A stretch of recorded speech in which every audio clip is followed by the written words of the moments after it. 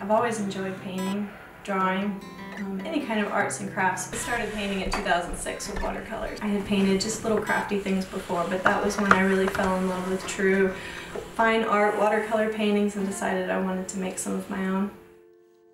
An artist named Ernest Johnson, one of his paintings, there's a little errant drop of paint, just something that splattered unintentionally. And there was something about that little drop that called to me because I've always loved water. And the way watercolors work is it's just pigment suspended in water. So that one little droplet was something about how it showed me the process and the way that the paint dries in its water. And I just really loved it.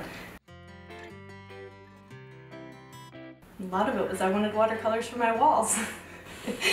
and can't buy all the art at once, so if you're an artist, you make your own. Also, watercolor has so many neat tricks that you can do with it.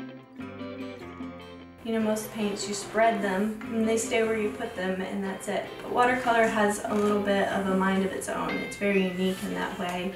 So much of what happens is just the magic of the water, because water moves around, it flows on its own. And so much of what I enjoy in painting is to see something and say, how could I translate that into a painting?